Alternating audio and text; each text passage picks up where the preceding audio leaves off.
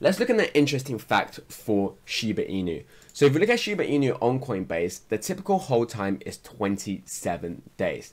Now we look at Bitcoin, which is 75 days, and Ethereum, which is 72 days, we can see a big difference between the three coins. And you guys can obviously understand why Bitcoin and Ethereum are going up higher, but yeah, we are seeing some decline in Shiba Inu. Essentially, people hold on to Shiba Inu for less time than the other two, and this explains why we are seeing the price dropping off, even though we have big buyers coming in to Shiba Inu. You know, we have pretty much 500 million, we have 30 million, 40 million dollar value of buyers going into Shiba Inu, but yet we are seeing the price drop. That's because people are not holding onto their Shiba Inu for too long. People are selling and taking profit. Essentially, we are seeing a lot of users, a lot of retail users possibly, selling their Shiba Inu coins, you know, as days goes by. And this really explains it. Now, Something I do want to cover in terms of this typical hold time is that it's the medium time that Coinbase customers hold SHIB before selling it or sending it to another account or address. And essentially,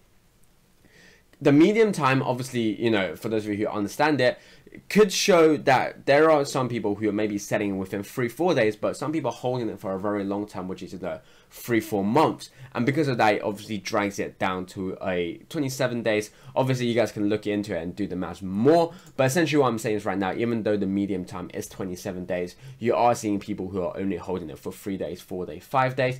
If you talk to some people who are new around you, who are new into crypto, possibly that they are selling the moment they see Shiba Inu drop because they're panicking, they don't understand how essentially the financial market work. And so that's again why we're seeing, you know, so much selling. You got to understand that when we came to Shiba Inu, a lot of people who are new to crypto also bought into Shiba Inu. And these are the ones who aren't used to the speculation. They're not used to the vol um, you know, the volume, the volatility of crypto, especially the likes of Shiba Inu, which is even you know more volatile than some of the other cryptos that are out there. And so because of things like this, they are more willing to sell when they see price drop like this. And that's why you know the big whales right now are accumulating as the price go lower, but they're taking pretty much they're taking advantage of the retail investors who obviously don't understand what is happening, selling their Shiba Inu. And so these big whales can get it at a lower price, so that in the future they're obviously able to make a huge profit off of it.